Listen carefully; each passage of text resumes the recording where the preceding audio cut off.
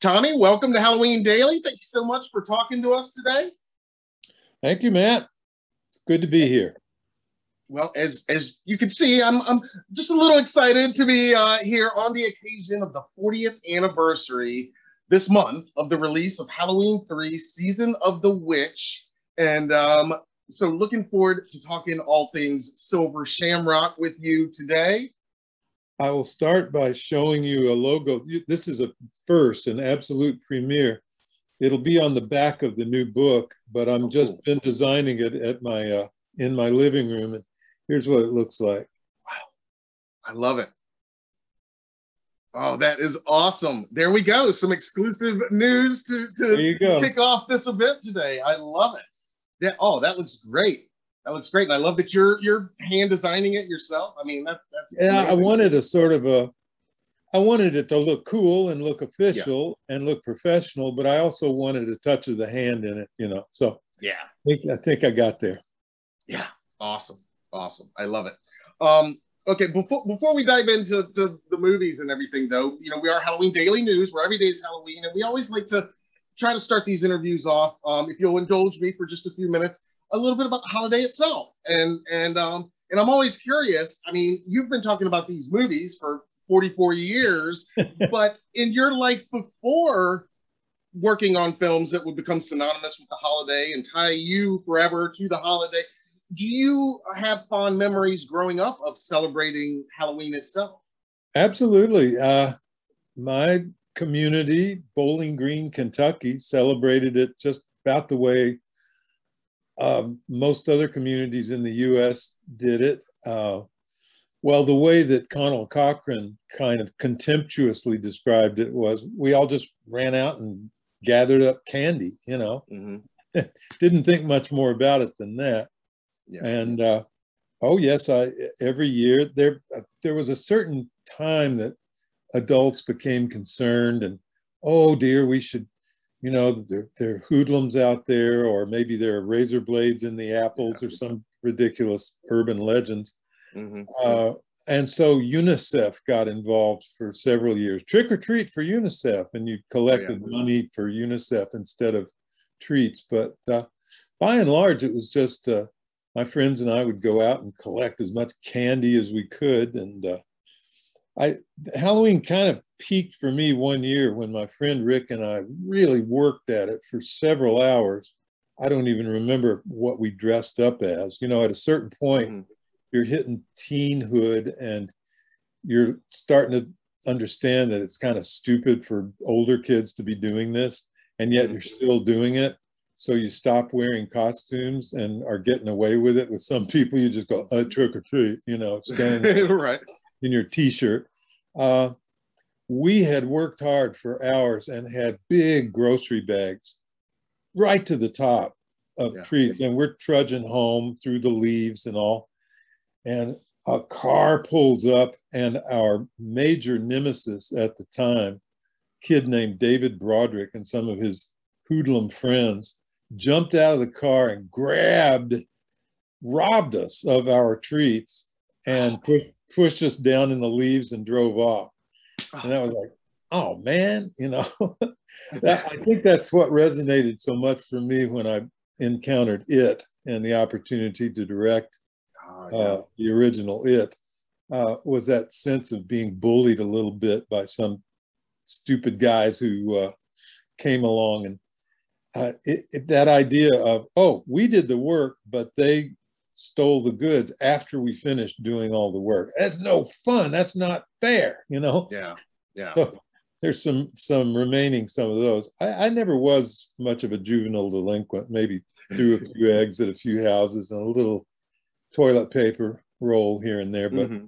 most part I, I guess i was a fairly well behaved kid. But halloween uh, holds lots of fond memories of that sort for me do you do you, do you have a uh, and yeah it sounds like that year kind of peaked and and kind of started going downhill from from there at, at that point yeah. um kind of peaked as far as the costumes but then as far as the experience afterwards it probably put a damper on it but um was that your favorite costume or, or do you have a favorite oh, oh costume oh, oh uh, far and away i my favorite costume as a child mm-hmm. was Zorro. Oh uh, yeah. Several in fourth grade, what was on television and what was happening for kids, or boy kids especially, was Zorro, uh, played by Guy Williams, and he was all dressed in black, and he just looked cool as hell. You know, it was just, oh man, I want to be Zorro. And even today, I was just communicating with a buddy of mine from, uh, he's in South Carolina, and uh, name is Henry. And Henry signed off saying, Love you, Tom. Remember, I am Zorro. Uh, and yeah, I won the uh, I, I won the fourth grade costume contest that year, based on the idea, not how cool the costume was, but could they guess who it was? And for some reason, they didn't seem they didn't recognize me under there, and I won the, I think it was the Sheaffer fountain pen set or some some deal like that. Anyway, yes, Zorro. Zorro was the costume. Awesome. That's a good one. I, I, I, like that. And then we always have to ask um, your favorite Halloween candy. Candy? Yes. Oh, geez. Huh. Well, uh, I thought it very adult of me when I switched from stuff like Hershey bars and uh, Butterfingers and Snickers to the Heath bar. Seemed oh, yeah. like a very adult choice. It was a uh, toffee with chocolate on top of it. And like Oreos, it, you had various ways you could eat it. Uh, my favorite was to strip all, very carefully strip all the chocolate off the, the log of uh, toffee and carefully with your teeth until you had this golden log of toffee and then crunch that up. It's an important detail of, of childhood. Yeah. Oh, absolutely. Absolutely. Yes, unforgettable. Heath Bar. That's a, sure. That's a good choice. I like that. Um, so um, again, let's let's move into to uh, some of your film work now. Well, actually, I was curious because I know you you um, went to film school with John Carpenter, and that led to working with his films, which would eventually lead to Halloween Three. But um, you guys knew each other before then, is is that right? John and I knew of each other uh, all the way back in uh, oh probably second, third, fourth grade. Okay. He, he was a year older, and okay. at that at that age, that's a big gap. So we yeah. just passed in the hall. I uh, got you. Tiny little K through 12 school on the campus of Western Kentucky University.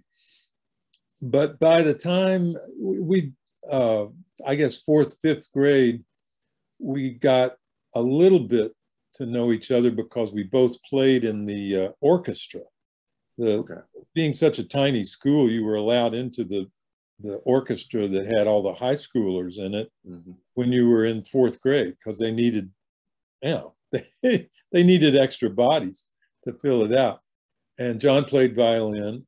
I was recruited as a trombonist uh, and uh, learned how to play it and reasonably well. Mm-hmm. but we didn't really get to know each other until uh, we were teenagers on one of those orchestra trips.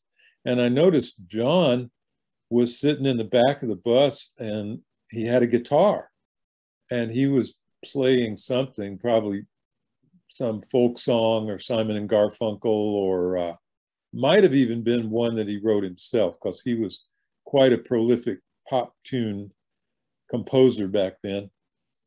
And what I couldn't help but notice was that all these girls were gathered around him. And I was like, mm-hmm. wait, how's this work? And I went back mm-hmm. there and I'd been in kid choirs in church and I knew my way around music. I'd taken piano lessons. So it was no problem to start harmonizing with it. Mm-hmm. And uh, we sounded good together and uh, struck up a friendship based on music and making music and loving music. And uh, then the British invasion hit, and we were mad about the Beatles and the Rolling Stones and the other British invasion groups. Uh, and that led to a rock and roll band together. We formed a, a five man rock and roll cover band, played around that part of Southern Kentucky. So uh, John knew from an early age that he wanted to be a film director. I didn't even know, I didn't know what a film director was or did, mm-hmm. but he had it all mapped out. All he needed was a school. So I knew about this big blue book in the library that had all the schools uh, in the, uh, suppose in the world, in the certainly in the nation. Okay. Uh, we went there together and looked at uh, he kind of focused on New York University. Uh, Miami, I think, had a school, a film school, and University of Southern California. So he centered finally on USC and paved the way, went out there to school. And I went off to Ohio to art school. And when I graduated, uh, it was either New York or Los Angeles. And John was already in Los Angeles uh, we corresponded. His letters painted a really great picture of the area. You know, he'd say, I was walking down Sunset Boulevard and Buffalo Springfield was playing at the Whisky. It's like, oh my God. And yeah. the doors, really? Oh my God, I got to go. So it wasn't that big of a, of a, of a hard decision between New York and Los Angeles with the, with the magnetic pull of, of that kind of stuff going on. And uh, so spring break, I took a madcap car ride with a couple of fellow students in a borrowed car and uh, took my portfolio. I was an art school kid, graphic designer. Uh, took my portfolio to the animation department where uh, USC Film School was and uh, got accepted wasn't, you know, getting into college or getting into grad school back then, it just wasn't the same kind of big deal it is now, where people just mm-hmm. prepare for years for all this stuff. It was just yeah. spur of the moment. Uh, and so as I was entering USC, John was kind of had one foot out the door already.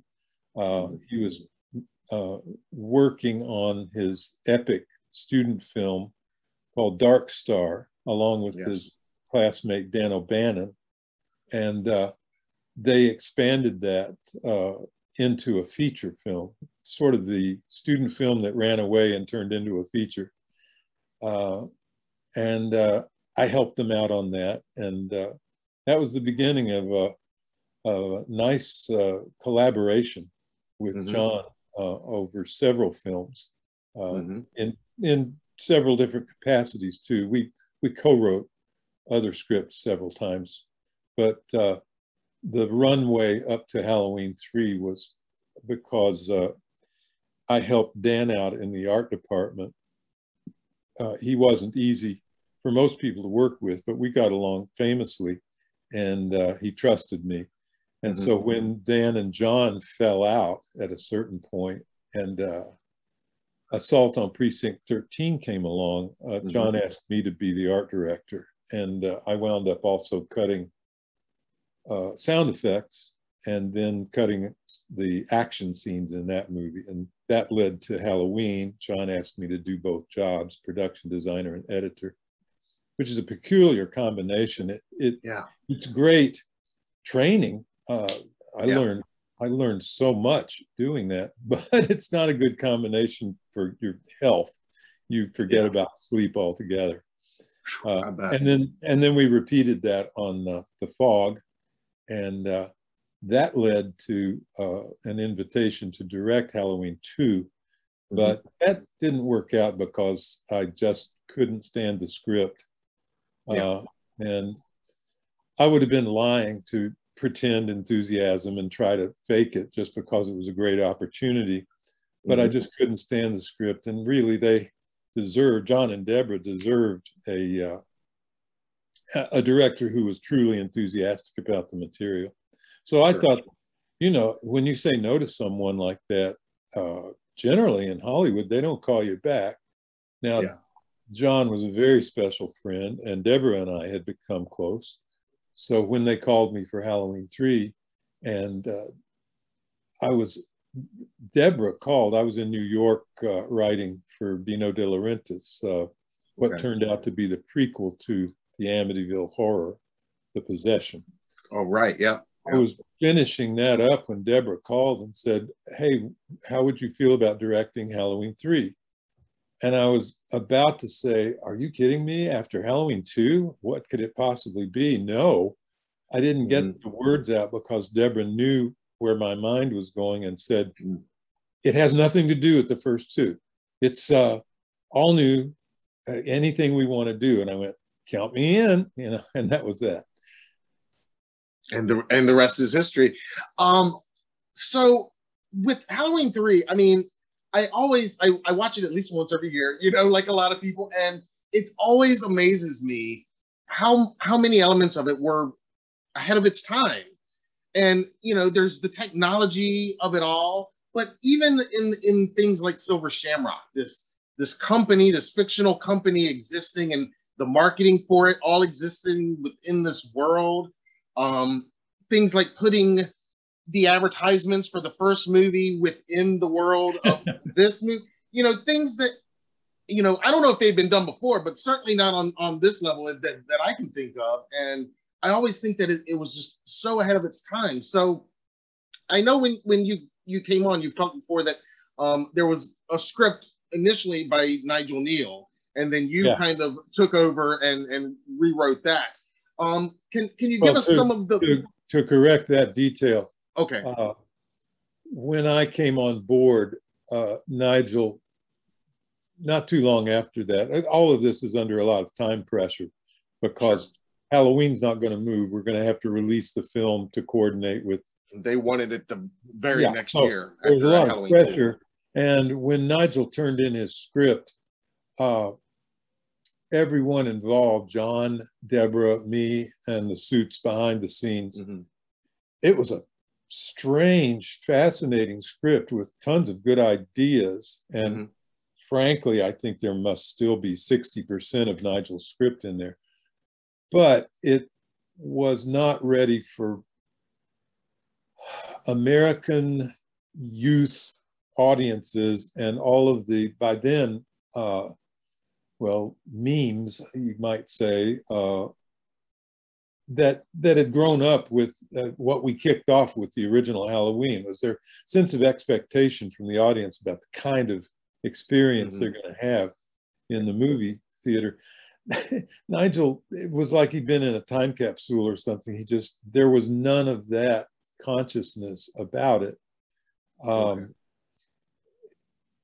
it was fascinating, but it was mm-hmm. fascinating more on the level of a, an early Twilight Zone or a British psychodrama from the 50s. It was a little bit dusty, I could say, yeah. uh, moldy somehow.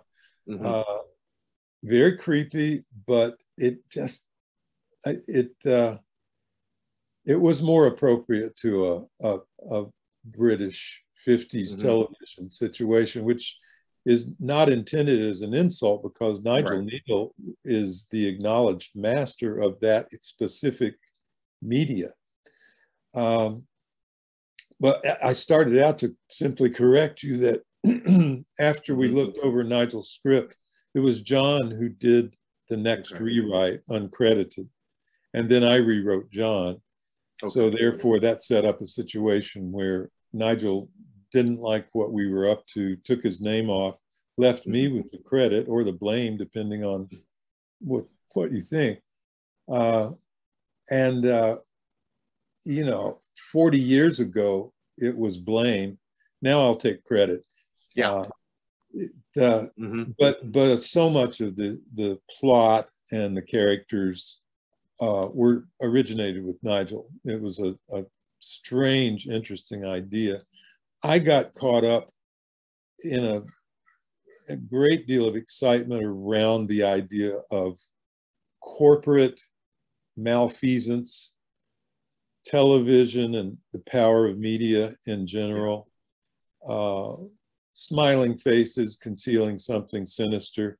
That's my world. I, I really enjoy working in that realm. So I really resonated with the material and hopefully made it my own if I had it to do over again, I would uh, use the, the Alan Smithee credit. Are you familiar with that? Alan Smithee is a name that's used or invoked, we could say, when uh, someone pulls their name off a script it's to indicate, hey, there was somebody else involved here, but they decided not to put their name on the movie. Okay. That's a, that would have been a more accurate credit, or screenplay by Joe Blow, Donald Duck, and Tommy Lee Wallace. That that too would have been accurate, but uh, right. I didn't think of that at the time. So, like you said, it was a lot of Nigel's ideas, but then John did that first rewrite, and then you kind of took it from there. And um, and but you were already responding to some of those things that that I'm thinking of as as we're almost ahead of their time. Like you're mentioning some of the uh, technology aspects and media and the you know agendas behind the the corporate faces and all that. And um, and I think, I, I love all those themes in there. I think what uh, I believe it was Deborah Hill's brainchild in a, uh, the elevator pitch for this movie, I, as I recall, was uh, Witchcraft Meets the Computer Age, which yeah. was prescient of Deborah because the computer age hadn't really landed right. solidly by that point. It was just getting getting up yeah. and running. Uh, but I think that's what she gave Nigel so he was he had that much of a theme to work with and of course he he came up with all sorts of original ideas to to uh, amplify that theme and and so the overall like the silver shamrock stuff that was there when you guys when he turned that um first script in and like the Challis character and all that was kind of intact and yes Yes, okay. he invented he invented the silver shamrock idea, mm-hmm. and the, he was less specific about the masks and the, mm-hmm. the basically the original script. He was more of a novelty company okay. genius. He had whoopee cushions and all sorts of of toys and bats on strings and everything. Mm-hmm. Uh, and he never did describe specifically which what the masks looked like. Okay. Uh, that was left to us. Uh, but uh, yeah, those those basic concepts were there. I was especially fascinated with the corporate dangers. I don't mm-hmm. trust corporations, and I believe we should be a lot more vigilant as a as a people, as a government, yeah. and as a nation about corporate misbehavior and corporate power in general. So I really took to the idea of, uh, I, I, stole from myself for the gray suits, uh, the bad guys, the police force, if you will, mm-hmm. of, the, uh, of the corporation. Uh, I'd written with a, with a classmate earlier, I'd written a, a treatment called The Corporate War, which was about two corporations going at it, uh, mm-hmm. spying on each other and murders behind the scenes and all. And that's where the gray suits came from. And I thought that was great fun, you know, just uh, taking the ultimate image of the corporate man uh, yes. And and turning it into a bad guy. Yeah, yeah, really. I mean, kind of kind of turning it in, into this, you know, stalker, almost, you know, reminiscent in some shots of how Michael Myers would be framed sometimes in, in the previous yeah. TV show. And I mean, well, there was some elements of that every now and then. Well, I, I was aware we were doing a horror movie yeah. and, and the horror movie needed to be in the same universe, at least, yeah. as the other horror movies that we'd done before. So, uh, in fact, that dynamic is what John wrote into the script and what I amplified okay. because that part of it wasn't present in Nigel's writing. He mm-hmm. just didn't supply this over kind of menace, this sense yeah. of it, it just he hadn't he didn't use those tools, those those particular tools of horror, which yeah. were second nature to John and to me. It was just yeah. like, oh, we've got to have impending danger and lurking people watching yes. things going on. That just helps. Uh, those are basic tools of getting people on edge in the movie theater. Yeah, kind of along the lines of some of like the Loomis speeches in, in 78 and, and stuff exactly. like that. Exactly. Yeah, setting and, it up, talking about uh, something's Well, it it goes on and on. Something's wrong in Derry. This is from it. You yes. know, you mm-hmm. need you need Greek chorus type mm-hmm. of characters and groups of people saying there, there's, there's something going on here. Right. Uh, that's where the drunk character came from, uh, mm-hmm. uh, who warned oh, yeah. Mm-hmm. early on. It's, ah, something's going on here. You know, right? Yes. they don't pay any attention to me, but fuck you, Challis. Mm-hmm. I'm not Challis. Fuck you, Cochran. Right. Uh, mm-hmm. that idea, and then the guy gets killed. Those yeah. those tricks, they're cheap tricks, but they work. Uh, yeah. Those came from John and me. Yeah. And and you said um the masks came from you guys. I was curious, uh, was there a big conversation about uh, choosing these three masks because they have become so iconic and so identified with these films now. I mean, I've got one of the Trick or Treat Studios ones here. They're everywhere. You know, you go to conventions, you see yeah. those masks now almost as much as you see Michael Myers walking around. Yeah, um, it's it's true. Uh, wish I had a nickel for every one of them, including yeah. Michael Myers mask. You know the story yeah. behind all that, I'm yeah. sure. Uh, anyway, uh, it fell into place beautifully. Uh, we needed, uh, we needed. I decided we needed three masks. Let's let's get down to specifics. You know, okay, now it's time to make the movie let's not talk about theory and about how many a lot of mm-hmm. different masks let's get specific and the rule of three seems to prevail everywhere in everything is three is just a good number so. And it was halloween three after all. Yes. So uh, i said we need three masks. Deborah was watching every penny. We could not afford to just sit down. Neither time nor money would allow us to sit down and design three masks from scratch, do the mm-hmm. sculpting, go through the process, audition, blah, blah, blah. It, it's the same story as the original Halloween. We didn't have the time for that. We had to go a different route. In this mm-hmm. case, by, by this point, Deborah had developed a relationship with Don Post, the mask maker, mm-hmm. who in fact was behind the original Captain Kirk and uh, Mr. Spock masks. And when Deborah embarked on Halloween 2, they started out using my masks from Halloween, original Halloween, the ones I did. But those masks were a little bit flimsy. The, the latex was not thick. So I believe Deborah approached Don Post to, to crank out a few more. And if you look carefully in the movie, they are interspersed. Some of them look dead on exactly like the original, and some of them there looks like there's a little something off mm-hmm. about them. And that yeah. would probably be because the thicker latex, as mm-hmm. well as the guy wearing them, uh, was Dick Warlock, mm-hmm. whose face is totally different from Nick's Nick Castle's right. face, totally different from my face, and so it looked right. a, it looked a little different, just mm-hmm. very subtly different. Anyway, I said all that to introduce the fact that Deborah, by that point, knew Don Post and had a relationship where she could pick up the phone, say, Don, can we talk? We went to see Don and right away identified the skull mask as already on the shelf. It was like, okay. wow, that's really good. Maybe yeah. we could use that.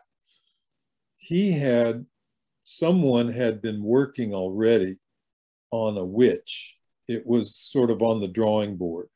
Okay. And uh, so there was that one that was already in the pipeline. The only one we just designed from scratch was the jack o' lantern. Uh, and it, it, was, I just dictated it. It wasn't anything complicated. It's the two triangles and the mm-hmm. smiley face that everybody everywhere carves into a pumpkin. Yep. So I thought it needed to be quintessential and no tricks, you know, just that's what that is. Yeah. Uh, and uh, Deborah, it was a real coup for Deborah because it, uh, in exchange for Don being allowed to manufacture and market these masks uh, mm-hmm. as a kind of a scratch my back and I'll scratch yours yeah. deal, we got all the masks and the use of the masks and the shooting at his factory and everything for free in exchange for him having the rights to make those masks. So it was a real production coup for Deborah to pull that off, and that's that's how they came about. the The fact that they endure uh, mm-hmm. as they do, I'd say it's about half pure luck and coincidence, and half uh, I am a designer after all, so I I care about color and yeah. the combination of colors, and those three colors together really. Every time I mm-hmm. see so much fan art, you know, those three colors together, they just do it. You know, it, yep, it's unbelievable. That it's like a flag or something. that the the three colors work so well together, with a little bit of purple mm-hmm. coming along for uh, for emphasis. But no matter what they're on, look here's some wrapping paper. The wrapping paper. It's amazing. the the the the merchandise now. Merchandise now. It just blows my mind. People are yeah. seat cut. I love it. Is that amazing? It is. Yeah. Welcome to Santa Mira. Yeah. various, you know, big road signs down to postcards. I love uh, it. And a lot of fan art. This is fabulous. Something handed to me the last festival. That's awesome. Isn't that sweet? This is a hand.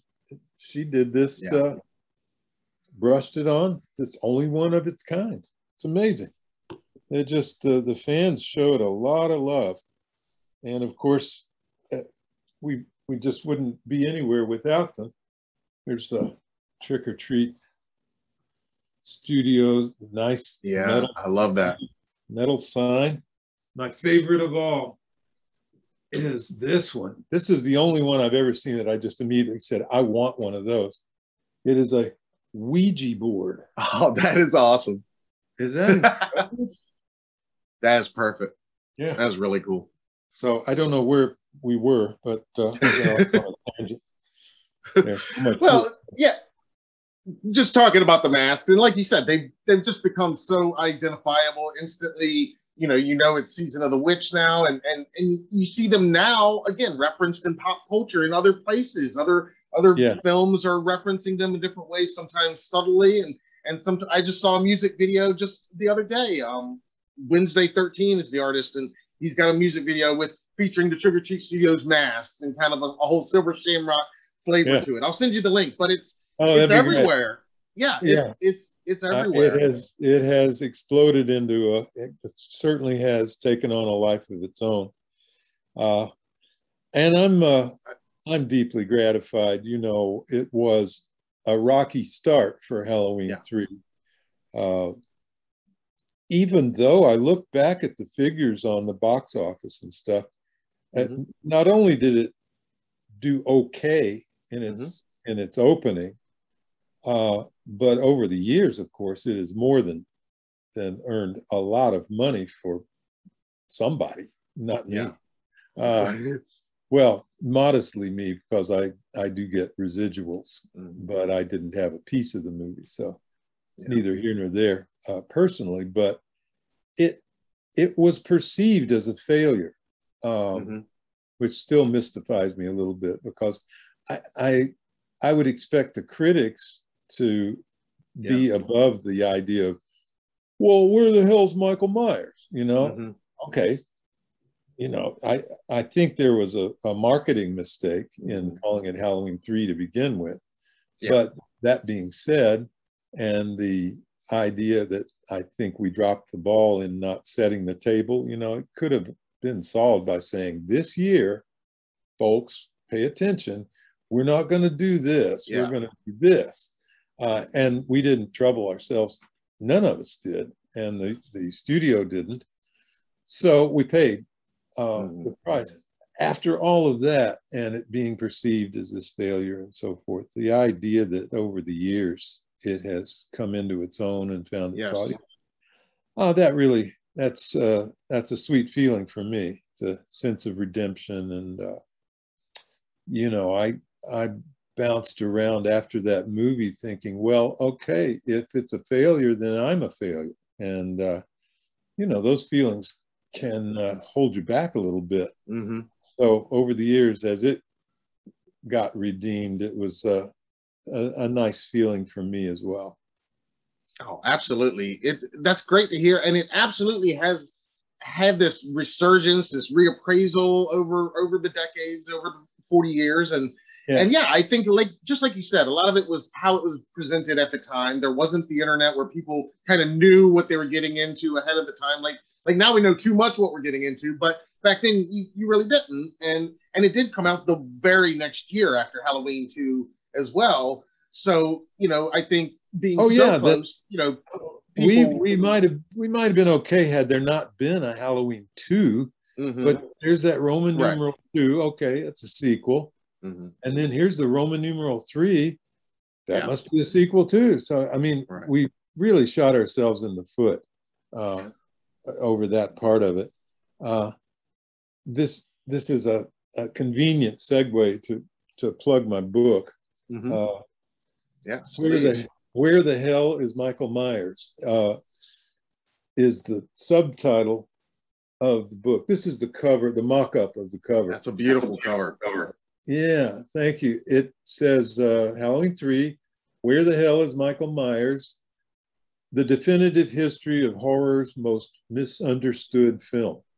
Uh, and by me, of course, and uh, with a foreword from Tom Atkins. So oh, that's uh, awesome. So yeah, I, it should be out by the end of the month, and uh, I got a chance to really. Uh, I didn't realize I had so much to say about it. I just mm-hmm. started out thinking about, you know, talking about how we got it shot, and nothing crazy happened during shooting that made it into a, its own unusual story. But I kept mm-hmm. coming up with, oh my God, this blah blah blah blah blah blah. Mm-hmm. blah, blah. So it, uh, I really got a chance to say everything I can think of to say about that subject. Um, so I hope everybody enjoys it. It, uh, you know, it, uh, it it wound up being really fun to write. Uh, yeah, and uh, you know, I hope it. Uh, hope I covered the bases and didn't insult anybody. I, actually mm-hmm. pretty complimentary about everybody I mentioned. I think mm-hmm. even Nigel. yeah, I, I was under the impression for years that Nigel kind of left us in the lurch. Mm-hmm. Uh, he he decided to take his name off the movie and not do any rewrite work. Well, mm-hmm. you know, it's pretty standard in Hollywood when you turn in a script that you're going to get some notes and yeah. you're going to want to make some revisions. That's just the way things are. He bristled at that, and I've learned since that A, he felt he had fulfilled his obligation, so he wasn't uh, quitting on us. Mm-hmm. And uh, B, he had been through so many disappointments that he had become somewhat embittered.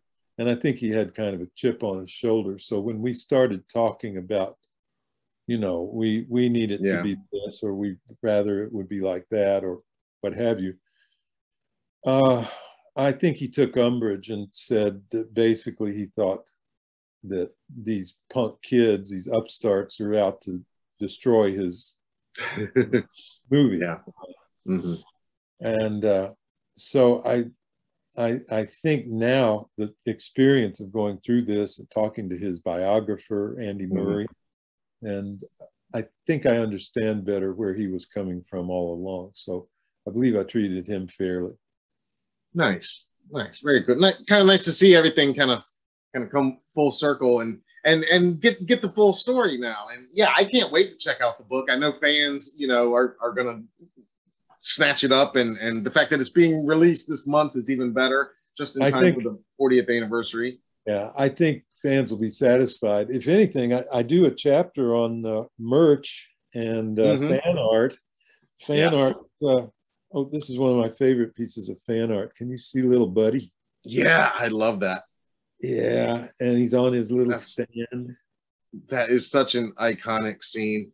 I, I wanted that? to ask you um, about another, probably my favorite scene in the movie. Um, while I've got you for a few more minutes, it's it's the the Cochran speech, and then at the end of it, you know, I love his whole speech about the meaning of Halloween, and then he, Yeah. he puts the skull mask on on Challis, and he's walking away, and, and 78's playing on TV, and he says Happy Halloween, and then I always get chills when the music on TV in the 78 film filters in and fil- and it and it's like that becomes for a few seconds The soundtrack. the soundtrack to season of the witch and it's this surreal moment and Challis of Yeah. course in that moment is wearing the skull mask yeah. it's just it's my favorite scene and and it Huh. you know the the the Challis speech and everything right up to that whole thing and and again i think it's one of those times where it's so ahead of its time um you know the the first scream movie i don't know if you know but they they did a similar thing also with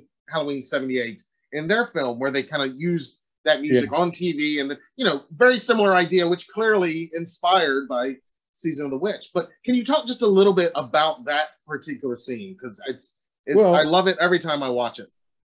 It it uh, i'm really glad to to hear that. It it uh, matt it it's gratifying especially because uh, the whole scene and situation made me nervous because it's so what's the word? It imitates uh, some pretty old cliches uh, dudley do right and uh, tying the damsel in distress on the railroad track and the train is coming.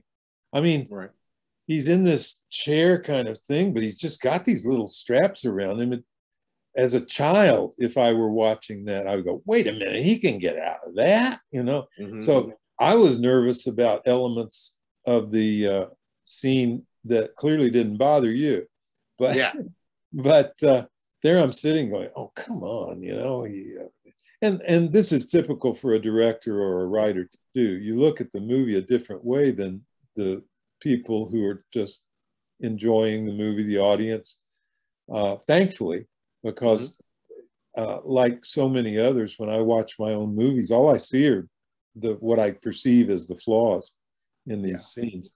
But I did feel very strongly that the movie came down to uh, Cochran's soliloquy on Halloween. Mhm. That that really puts things in perspective. That villains don't think of themselves as bad people. right The if you do a movie where the villain thinks of himself as a bad person, I I guarantee you that movie's not going to work very well Mhm. villains have to be convinced of the rightness of what they're doing that somehow in their mind at least even vladimir putin thinks he's right uh, and uh, Cochran i think acquits himself quite nicely when he talks about it's time it this is this is inevitable it's got to happen this way Yeah. uh, that's I added that to uh, between John and me. We made sure that went in because Nigel's original script, the entire thing rested on the fact that Cochran says, "Oh, it's all a joke. It's just a joke," and it's Mhm. like, no, I, I don't think that's going to work. I'd love for that to work, but it couldn't be Dan O'Herlihy playing that part. It would have to be like Robin Williams or Billy Crystal Yeah. or, or a real funny man Mhm. to say that line and get away with it because it's such a cruel line. It's, it's a horrific concept that someone would say, oh, this is for a joke. Well, if you cast Johnny Carson in the part and he said that, Mhm. you go, oh my God, ah, my head's coming off. That's too scary and too weird.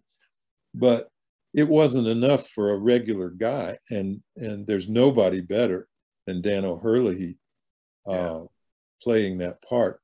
Uh, the book reveals that we first offered it to Fred MacMurray, if you can imagine that. oh wow Uh, that would have been that would have been pretty mind blowing because, of course, Fred MacMurray to my generation was known as sort of America's dad, or the Mhm. absent-minded, the nutty professor, absent-minded professor, whatever he was, but likable old guy. Uh, Mhm. My three sons' dad. Yeah.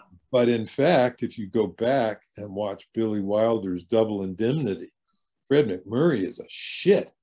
He's yeah. a horror. He's an evil guy. So that would have been fun, but yeah. uh, he he turned us down. But failing that, I don't. I can't think of anybody better than Dan O'Herlihy in that part. He just really nailed it to the wall, especially in, especially in that speech. Uh, yeah, Halloween. The way he says it, Halloween. You know. yeah. Oh yeah, it's it's iconic, and yeah, he absolutely nails it. And and like you said, I mean that speech that kind of distills the whole movie down. Like if I had to pick one scene to to yeah, you know yeah. highlight that, it's it's got to be that one for me. Well, I by that it. point too, that's quite a convention yeah. that the the evil guy is talking to the victim. Mm-hmm. Well, in my in my child's eye logic, it's why don't you just kill him right there? You know, mm-hmm. if you're the bad guy and he's the guy that you're going to destroy, go ahead and destroy him. Right. But then there wouldn't be any fun of drawing it out that way. Yeah. And, and explaining the, the only yeah. way you know that the movie's working is that people will sit there and listen yeah. to that entire speech and and dig it you know yeah you know it, there's there's no accounting for it except that uh, performances matter mm-hmm. good, good performances matter they they're the glue that holds the movie together Oh, absolutely, and that's a great one. And, and like you said, I just think at that point in the film, you know, if you're you're you're into it as the viewer, yeah, you're, yeah. you're, you're you, in there by that point. You if you didn't buy in, you already theater, right, so. exactly. Yeah, if you were going to have a problem with that scene, yeah, you didn't make it to that scene. You're right. Right. Right. but I I love it. Um, and again, I mean, 40 years later now, and the film is absolutely more popular than ever um, and and like you said, it didn't necessarily fail at the box office. It was just it it didn't do what maybe certain well, people were expecting or thinking. But Halloween, but, of course, was such a box office phenomenon. Right. And Halloween two came along and did very respectably. Uh, and so the expectations for Halloween three were very very high, and it didn't rise to those expectations. So you had a disappointed uh, I think Universal was disappointed, but I, I, you know, I just stand there and say, how could you be disappointed? You you didn't set the movie up for success. Yeah, you know, right? You mark, you put it out there in a lot of cities. You did that part great, but you mm-hmm. didn't set the table. I right. in the book I even wrote a uh, an as if ad, what yeah. we should have done, the ad that should have been. Oh, that'll be good yeah you know it just it we we dropped the ball. It's the simplest way to say it. And maybe it would have if we wanted an anthology we would have dropped the number. Uh, mm-hmm. you know yeah. uh, anymore it's more fashionable you know like the batman series or harry yes. potter. They don't bother with numbers. Exactly yeah. the next installment. Uh, if it had been halloween colon season of the witch. Yep. And with a little ad to set the table, we might have gotten away with it. But calling yeah. it Halloween 3 was a desperate mistake.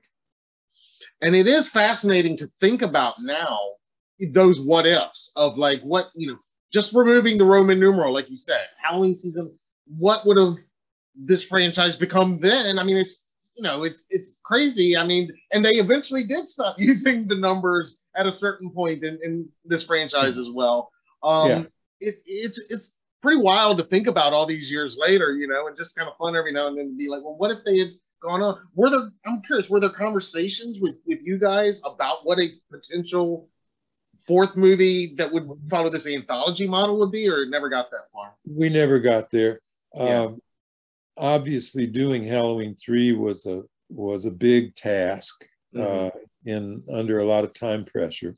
Mm-hmm. So we were very focused on that. By the time it came out and was perceived as all boom, you know, the air went out of the balloon. Yeah. Uh, we really never got around to discussing other ideas. It would have been fun, and it still kind of blows my mind that nobody's ever taken it up because it's yeah. it's a money making idea. There are so many stories that could be told, and of course, people are still telling them under other titles uh, and other Mhm. franchises. Mhm. Uh, that it uh, it would have been fun to see where it would have gone. Yeah, yeah. I mean, have a have a a new horror movie set on Halloween, but just kind of loosely in the same universe, but kind of just a whole nother story each Yeah, every could year, easily every have other given- year or something. Could easily have given birth to other franchises as well. Oh yeah, that's true. Yeah. Yeah. We could have had had more Silver Shamrock movies. um. Well, and I wanted to ask about that too. I was curious if you've seen the most recent two movies, Halloween 2018 and Halloween Kills, because they do um, incorporate the Silver Shamrock masks in those did- movies. Did Did you know that? I didn't even know that. Uh, yes, they uh, they. Yes, yeah, they incorporate them, and I'm hoping they do in in the new one, Halloween Ends. I'm hoping they're, but but yes, they're um they're very kind of subtly used in a quick trick or treat scene in 2018 film. Spoiler alert, but Sure. um Sure. but and then they're they're actually used even more prominently in a in a very fun scene in Halloween Kills as well. And they've got some trick or treaters wearing them, and but they are, uh, I guess they're trick or treat studios ones, but they've got the the silver shamrock thing little and all, and it's Yeah. yeah, they got the button, and um, I was just so just geeked out in when the 2018 film came out, and to see those masks just acknowledged, just in, in that fun kind of cameo capacity Yeah. in a Michael Myers focused Halloween movie, I was like, well, thank you, thank everybody for doing this, and uh, Why not? And- Why not? yeah, I, I just thought it was so cool to to have that, and then and then yeah, you've got to check it out because they're they're used again, even like I said, a little bit more prominently in Halloween Kills as well. So I'm hoping they there's some variation on the jingle in the new one. I would love to, you know, again, I I don't know if that's going to happen, um, but um, I, fingers crossed. You know, I'm give, give us some more Silver Shamrock as far as I'm concerned. Um, Yeah. I honestly, except for H2O, mhm, after Halloween 3, I, I haven't Yeah. watched, haven't kept up at all with the rest of them. mhm. Um, you know, I, I felt just like John and Deborah did after Halloween 2. They'd had enough. Yeah. Uh, now they were lured back in. I mean, money Mhm. will talk, uh, Right. as it did to John and it did to uh, Jamie, certainly. Mhm. But uh, now, you know, people ask me, "Oh, what did you think of the new?" And I say, "Listen, you know, uh, I like a good horror movie, but I'm not that much Yeah. into it. You know, it's it doesn't touch me. I, I I do have other things going on in my life, right. uh, but H2O interested me uh, Yeah. a lot because it basically followed the notion of what I was lobbying for on Halloween 2 before John wrote the, the five minutes later script. Mhm. Uh, I wanted a five years later kind of script. Uh, okay, Laurie Strode is traumatized beyond belief, barely able to function, had therapy seven days a week for three years or five years, and is finally venturing onto a college campus somewhere that is well protected, high walls, security out the wazoo, and oh shit, that can be made into a prison as well as a security place. Right. That's pretty much what H2O, H2O was working with. Yeah. Uh, so I was gratified to see that idea come to life. But That's interesting that you had that idea back then for for oh, I, H2 I, and and I was advocate, I was lobbying for that, but John Mhm. wanted to go a different way. Mhm. It, you know, clearly his way worked. Uh, that movie made a lot of money, but even John now uh, admits that he doesn't like it very much. yeah.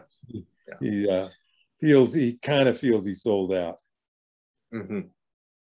And of course the the iconic mask of Michael Myers. We have to talk just a second. I mean, you you were the one to transform that Don Post Kirk mask. Um and again, 44 years later, there this is the 13th movie about to open now. I mean, it's it's everywhere. You can't go to not even just horror conventions. I think like Comic Cons. You're not going to go to one without seeing a couple Michael Myers walking around, stalking around. Yeah. Um, I mean, I know you guys couldn't imagine it, but but what what are your thoughts on on that that image becoming so you know synonymous with the holiday and with horror now? Well, on the downside, I just look at it and say, "Damn, I wish I had a penny for every one of those," because I didn't. yeah, I, bet. I didn't make any money to speak of off of Halloween. Yeah. Uh, now, coming to these conventions since has has paid me back pretty nicely. Yeah. Uh, so uh, my feelings about it have been assuaged, I guess you could say. Mm-hmm. But on the upside, it's nice to be the the uh, midwife, if you will, of a of an icon. Mm-hmm. Uh, it makes me feel like, wow, I I was right there in the zeitgeist. Yeah. Uh, it uh, and I I like the feeling that okay, the way I'm thinking and the way uh, my ideas have some relevance, you know, to where we are today as a culture. Uh, yeah. You know, that's that's kind of gratifying, and uh, I enjoy seeing all the hoopla around it. It was lightning in a bottle. Uh, mm-hmm. When I did it, it was partly out of necessity to want to alter the mask to some degree, mm-hmm. and also uh, just to make it my own. Uh, you know, paint it stark white and take away the sideburns and stuff. And it really got to be an eerie looking thing, but I didn't realize how eerie until the person at the production office modeled it for us and came out. And before we got to a script or scary music or a plot or trick photography or incredible lighting, I knew we had a terrifying movie because that damn thing was just scary looking. It just struck mm-hmm. you in your heart. Like, yeah. holy shit, how'd that happen? That, it it had that effect, and yeah. that's truly lightning in a bottle. Yeah, you know, it, it doesn't. It some of it's a, just a happy accident, and some of it I will take credit for. Absolutely, absolutely. Well, you uh, you definitely deserve it. I mean, and yeah, the that that look and as with the Silver Shamrock mask, I mean, they are all just like I said, you can't go anywhere without seeing them now. Um, between the merchandise and and fan events and just social media, you know, we get tagged in this stuff all the time, and it's amazing the tattoos people get. I mean, I, am sure I know you see it all the time at, at events that, you're at. I mean, the, the that blows my the mind. fandom is massive. I, the first time a woman got me to put my autograph on her inner thigh. And then yeah. she came back later that day and showed me she'd made it, gotten it made into a tattoo. It's like, wow, what? Yeah. Really? Are you kidding me? That, That's wild. Not, not to mention the endless uh, shape and uh, Halloween 3 stuff that people sure. are putting on their bodies. It's like, wow, who knew? Who knew? it's amazing. Yeah, it's it's amazing, and and just such a part of pop culture. Like I said, I mean, you see these yeah. these references all the time, and um, it's it's always just amazing to me to to see. So it must be, you know, it, it is cool to me for me as a fan, and and you know, to hear you say that it is gratifying and that you are feeling some of that that love, oh. and and and that you, uh, you know, because I think it's relatable to to myself. I know, and probably a lot of our viewers that you know those feelings of of what it probably felt like 44 years ago uh, or 40 years ago. And um and you know in recent years to have that gratification coming back in and that love and and to have people really i think it's you know giving the film a chance. You know it was like going in after halloween 2 with certain expectations and like you said not being prepared. But now you go into it you're prepared you know what you're getting into and people give it a chance and they're like whoa this is cool. This is different. This is something, you know, a, little unique. And for people that, you know, just love Halloween horror movies, period, you know, it's it's definitely got its own unique uh, thing going on. I think one of the secret weapons of Halloween 3 is that it really is about Halloween. Yes. Unlike unlike the original, which after yes. all was originally titled The Babysitter Murders. That's and right. it's about yep. babysitters and it's set at Halloween, but it's not especially about Halloween. Whereas Halloween 3 is all about Halloween. That's why year after year people want to use it as part of their ritual. Yes. There is only one aspect about this whole thing that disturbs me. Uh, there, there are folks out there, horror movie fans, and it's very obvious when you get to certain movies that the audience, certain members of the audience, are actually rooting for the psycho killer. They're like, Right. yeah, you know, Jesus, wait a minute, what's going on here? I- Yeah.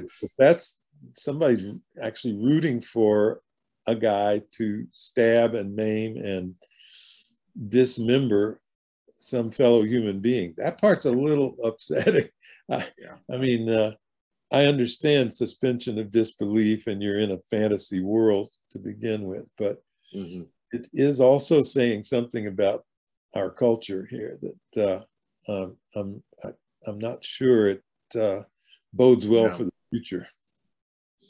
Yeah, that's that's a good point. That's definitely you know, and it is interesting how you know how fandoms have, have changed and and um and and you know how the bad guys you know I mean you like you said you're always kind of but with those some of the classic monsters are a little more um sentimental to begin with in in, a way and um but I guess it, it it all depends on um on the the audience and where their their minds at and it is a scary time right now for sure. It's true. It's true. God knows where we're headed. That's that's it. Um, so the book you said it's it's going to be out uh, this month. Do we do we have a release I- date, or, or where can are- people? Fingers are crossed. Okay. Uh, I'll get it out on uh, my website, Okay, and and of course, uh, I don't. I I'm I'm guessing that it'll wind up on uh, Amazon. Mhm. Uh, but stay tuned is all I can say. Okay. That, uh, we're working hard to get it. Uh, it took me forever to finish writing it, so Mm-hmm. the uh, the encroachment on the deadline is is my fault. But uh, I wanted it to be right, and uh, yeah, and, and to measure twice, cut once, kind of thing. So yes, uh, but uh, we'll we'll do our best to make sure everybody hears about it through all the usual channels. Excellent, excellent, and we'll we'll be here to help spread the word as well. And I can't wait to order my copy. And um, yeah, and and and read more of these behind the scenes stories because as you can tell, we we can't get enough of this. And I could I could talk for a couple more hours, but I know you got a lot going on and, and you're busy. But um, I, I can't thank you enough for taking the time and chatting with us today and, and, and giving us some uh, Silver Shamrock stories and a little bit of Michael Myers talk as well. Thank you, Matt. It's been a pleasure. And, uh, Absolutely. Uh, to everyone out there, happy Halloween.